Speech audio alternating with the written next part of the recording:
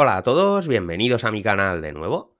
Continuamos buscando las mejores pizzas de supermercado, y en esta ocasión traigo la pizza carbonara rellena de salsa de setas de Hacendado.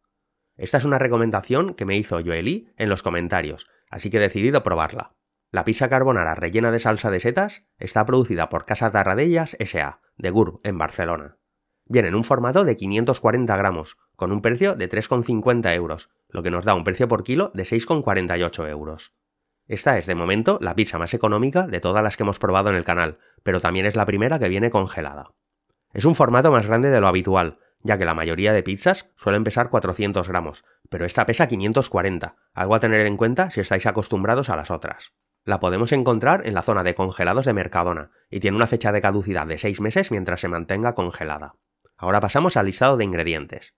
Lleva harina de trigo, un 12% de salsa de setas, que lleva nata, agua, cebolla, almidones modificados, champiñón, sal, azúcar, almidón de maíz, aroma, extracto de levadura, mantequilla, especias y caramelo. Luego lleva agua, salsa blanca, que está compuesta de agua, nata, queso curado, leche descremada y almidón modificado. Luego lleva un 10% de queso mozzarella, un 6% de champiñones, un 5% de bacon, un 2% de cebolla, aceite de girasol, sal, dextrosa, trifosfato pentasódico como estabilizante, levadura, orégano, aromas, especias, ascorbato sódico como antioxidante y nitrito sódico como conservador. Como el resto de pizzas de tarradellas, lleva los mismos aditivos con efectos secundarios.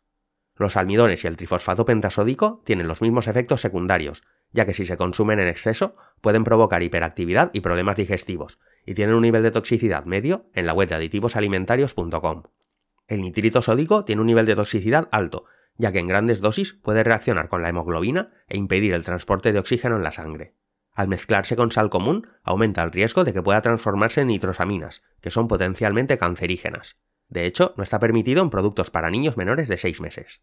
Yo pensaba que igual al ir congelada no llevaría este tipo de ingredientes, pero parece que los llevan igualmente.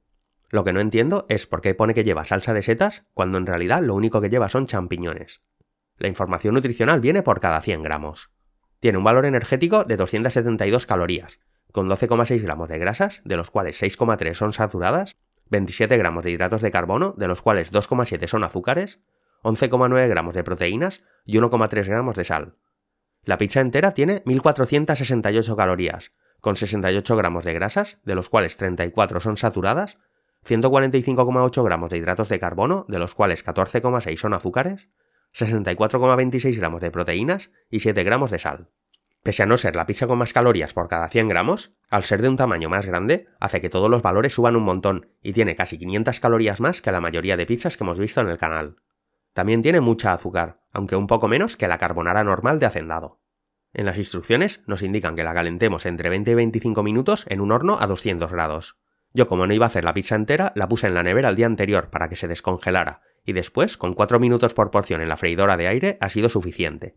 Lo primero que destaca de esta pizza es que es súper gruesa. En realidad no da la sensación de ser una masa de pizza. Me recuerda más a una focaccia o algo así, ya que está bastante crujiente por la parte de abajo. A mí no me importa que la masa sea así, pero si os gusta la masa fina, esta pizza no es para vosotros. El único sabor que destaca es el de la crema de setas, que está inyectada en la masa como cuando le ponen chocolate a los donuts. El resto de la pizza no tiene un sabor que destaque para nada. El bacon no se nota casi nada, y el queso no tiene mucho sabor tampoco.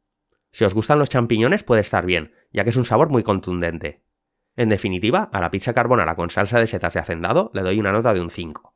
Esta pizza está muy orientada a la masa con la salsa de setas, pero el resto deja bastante que desear.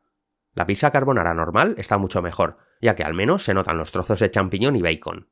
Aquí estamos comiendo básicamente un pan con sabor a champiñones, que no está mal, pero para mí esto no se puede considerar una pizza.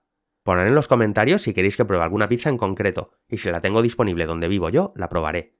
Espero que el vídeo os haya sido útil, y si os ha gustado, podéis suscribiros al canal que es gratis. Yo de momento me despido, nos vemos en el siguiente vídeo. Un saludo a todos. Hasta luego.